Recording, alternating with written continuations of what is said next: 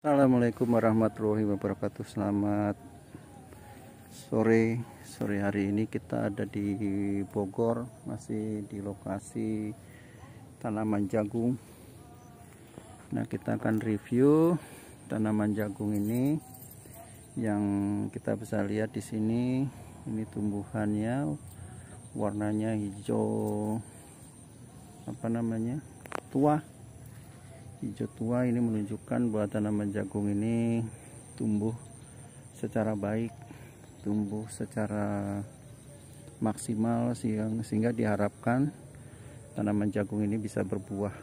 Dan beberapa memang kami sudah sampaikan video terdahulu bagaimana tanaman jagung manis ini jagung manis bisa tumbuh memiliki apa namanya buah yang besar-besar dan berisi.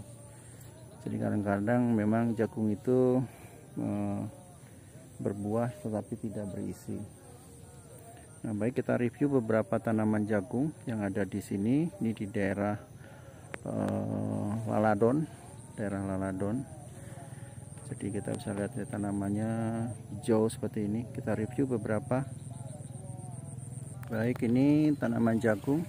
Jadi kita bisa lihat ya, lepahnya sudah maksimal. Ada tanaman uh, apa belalang maksud saya. Nah ini nanti ini bakal yang saya tunjuk ini adalah jagungnya nanti. Ini masih muda. Nah nanti bunganya di atas ini. Ini di atas bunganya seperti ini. Oke itu. Kita lihat ya lihat ya nah ini uh, banyak apa namanya lubang-lubang ini dimakan belalang. Ini belalang ini salah satu hama tanaman padi tanaman jagung tanaman pertanian seperti ini. Nah, ini kita bisa lihat tuh, tuh dimakan sama itu berbolong-bolong berlubang-lubang. Nah, seperti ini ini juga sama. Ini kalau dalam jumlah yang besar memang berbahaya bisa mematikan tanaman. Ini belum ada bunganya belum ada calon buahnya baik ini tanaman berikutnya kita review. Nih dimakan juga sama nih belalang. Tanaman belalang dan di ujungnya nih kita bisa lihat ini. Nih nanti akan keluar apa e, tongkol. Tongkol itu buah buah jagungnya. Ini juga sama nih kelihatannya sudah muncul. Nanti bunganya muncul di sebelah sini. Nah sebelah sini akan muncul. Nah kalau ini adalah uh, buahnya nanti buah jagungnya buah jagung yang dia akan dipanen yang ini. Oke kita review yang lain. Oke sama. Ini tanaman ini relatif aman. Ya tidak dimakan belalang. Nah ini kita bisa lihat ini buahnya nanti di sini nih buahnya. Buahnya sudah mongol ini. Nanti akan muncul buah jagungnya. Di ujungnya ini nanti bunga. Nah ini bunganya seperti itu ini bagus tidak terserang hama belalang.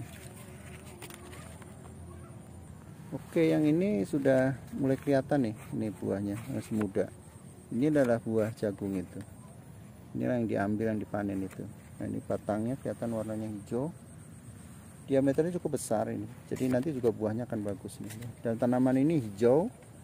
Tanamannya hijau daunnya. Ini seperti ini bagus. Ya jadi ini menandakan uh, tanaman ini tercukupi nutrisinya dan tentunya buahnya juga akan besar akan besar. Seperti itu. Dan tidak ada serangan belalang ada ini sedikit. Ini yang terluka nih ini adalah serangan belalang. Oke kita lihat uh, review yang lain. Oke ini tanaman jagung juga. Jadi sama ini. Ini kita bisa lihat ini nanti apa namanya buah. Buahnya seperti ini. Ini daun-daunnya juga bagus. Hijau tumbuh.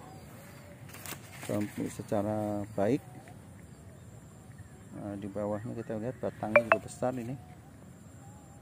Kita lihat jadi tidak ada serangan belalang.